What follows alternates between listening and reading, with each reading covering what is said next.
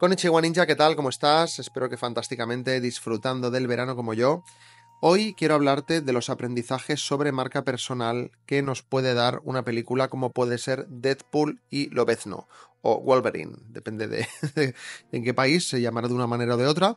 Pero bueno, el asunto es que la vi el otro día, disfruté muchísimo con ella y saqué varias conclusiones o pensamientos. Pero antes de entrar en todo esto, primero quiero explorar de dónde surgió la idea de hacer estas películas y cómo esto también de algún modo se conecta con la creación de una marca personal. Para entender cómo Deadpool y Lobezno llegaron a, la gran pantalla, necesitamos retroceder un poco en el tiempo. Lobezno, como te digo, también conocido como Wolverine, aunque en España siempre ha sido y será, yo creo, Lobezno, apareció por primera vez en los cómics de Marvel en el año 1974. Yo no había ni nacido. La popularidad del personaje creció muy rápido y mm, eso es porque era un personaje diferente, ¿no? Tenía un carácter salvaje, un poder de regeneración y una actitud de lobo solitario, pues que llamaba bastante la atención. No fue hasta el año 2000, con la película X-Men, cuando Lobezno, interpretado por Hugh Jackman, se convirtió en todo un icono del cine moderno. Esta película, de hecho, marcó el inicio de una nueva era de películas de superhéroes y de alguna manera estableció el tono para lo que sería toda la franquicia cinematográfica de X-Men y en un futuro pues también de Marvel, ¿no? Por otro lado, tenemos a Deadpool, un personaje que debutó en los cómics de Marvel mucho más tarde, en el año 1991. Fue ideado inicialmente como un mercenario con habilidades regenerativas, también como lo ves, ¿no? Pero con un sentido del humor sarcástico y una tendencia a romper la cuarta pared que lo convirtieron en el favorito de los fanáticos de los cómics, o en uno de los favoritos a pesar de su popularidad, Deadpool, o sea, en los cómics quiero decir, Deadpool tuvo que luchar muchísimo para llegar al cine. Y después de una fallida aparición en la película de, 2009 X-Men Orígenes Lobezno, donde el personaje fue completamente desvirtuado, Ryan Reynolds, que fue quien interpretó a Deadpool, fue junto con los fanáticos quien hizo campaña para hacer una película en solitario que respetase la esencia del personaje. Y fue esta pasión por el personaje lo que llevó a la creación de la película Deadpool en el año 2016, que se convirtió en un éxito de taquilla, vamos, instantáneo. De hecho, hay entrevistas a Ryan Reynolds en las que, mm, bueno, él mismo dice que uno de sus sueños era interpretar a Deadpool y creo que por eso las películas de Deadpool son tan buenas, o por lo menos tan fieles a los cómics, ¿no? Vamos a hablar un poquito de la conexión con, de todo esto con la marca personal, y es que, perdón, este origen de las películas refleja un punto clave en la construcción de una marca personal, que es la perseverancia y la fidelidad a una visión, digamos, original, a, lo auténtico. Tanto Lobezno como Deadpool han tenido que luchar contra obstáculos significativos para establecerse en el cine. ¿Y cómo lo han logrado? Pues manteniéndose fieles a lo que les hacía únicos en los cómics también porque sí he hablado mucho de Deadpool, pero Lobezno también es bastante fiel a los cómics. Y del mismo modo que en todas las películas en las que sale Lobezno lo ha interpretado Hugh Jackman, pues pasa lo mismo con Deadpool y Ryan Reynolds, ya sea una versión más o menos fiel o más o menos chula, siempre se ha interpretado por el mismo actor, tanto un personaje como otro. Aquí te propongo un ejercicio antes de seguir, y es decir, reflexiona sobre tu propio viaje, sobre cómo estás construyendo tu marca personal. ¿Hay aspectos de tu visión o de tu proyecto por los que has tenido que luchar por mantenerte fiel a ti mismo o a ti misma?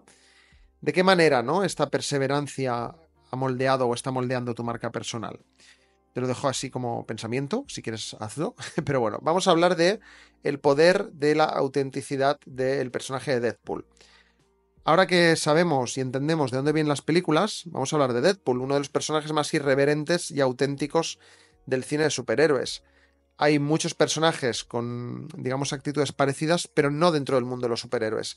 Y Deadpool es un ejemplo perfecto de lo que significa ser auténtico, de no tener filtros y de tener una voz y un estilo muy únicos.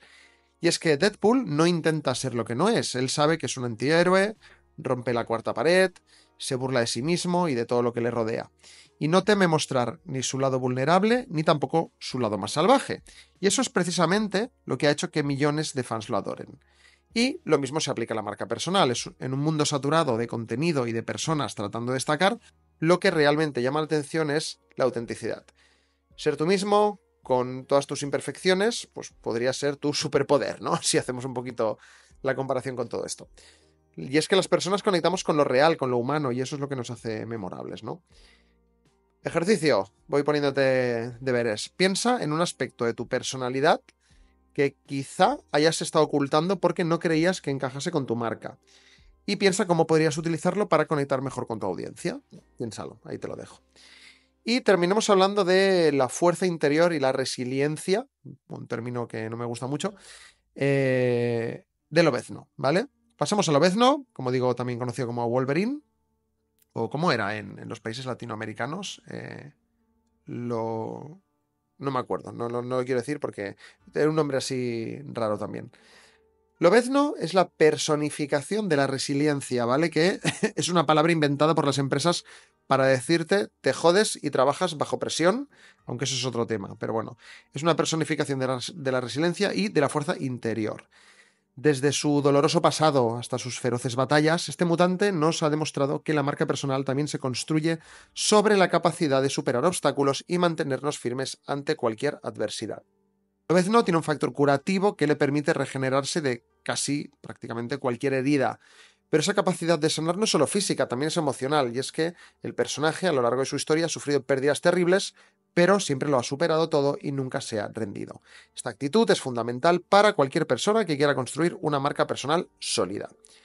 Todo el mundo se enfrenta a dificultades y a críticas en su propio camino hacia el éxito. Puede que tú también. Pero, como lo ves, no, pues tenemos que aprender a curarnos y a seguir adelante.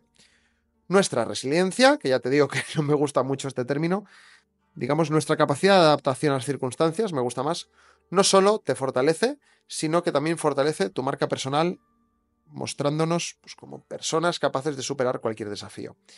Y te propongo otro último ejercicio. Reflexiona sobre un momento difícil que hayas superado. Esto es, esto es muy de entrevista de trabajo, ¿eh? Y cómo puedes compartir esa historia con tu audiencia para inspirar y fortalecer tu marca personal. Piénsalo bien y nada, pues si quieres, pues mira, ya te, estoy dando ya un post en redes sociales. Así que nada, ahí lo tienes, ninja.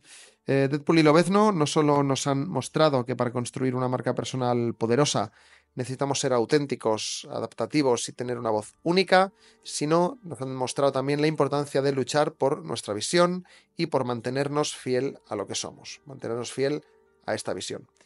Si te ha gustado este episodio, deja 5 estrellas en Apple Podcast, en Spotify, deja un comentario en Substack, donde estés escuchando esto vaya, y compártelo con otros ninjas del contenido que puedan beneficiarse de estas lecciones o pensamientos.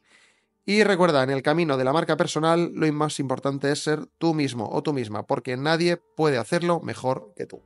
Nos vemos en el dojo. Adiós.